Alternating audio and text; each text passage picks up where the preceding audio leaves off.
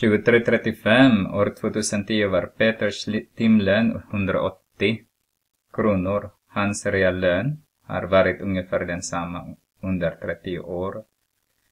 Så vilken lön hade han 1980? Så jag, det betyder att de följer KPE på något sätt. Det här är KPE. Eh, om man har reallön som som person, då pratar man att man följer KPI. Har man inte reell lön, det betyder då är antingen ovanpå KPI eller under KPI. Så, så vi, se, vi säger så här att den följer KPI då. Så har vi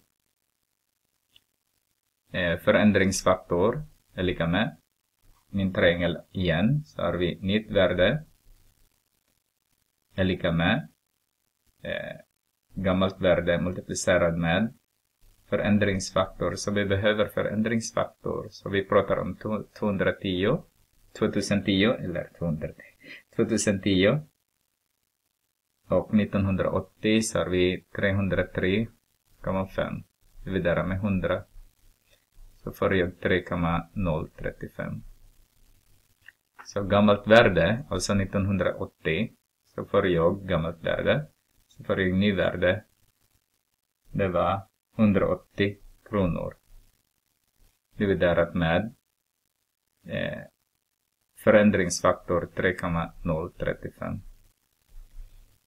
Eh, 180 dividerat med 3,035 så får jag 59,30 308 men 31 ser vi kronor.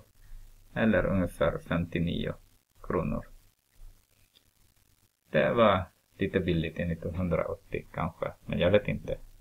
180 för 2010 kanske det är lite högt. Det kanske det är bra. Det var bra. Då, då känner man lite mer då. Även nu, om man ser så. 180. Mm.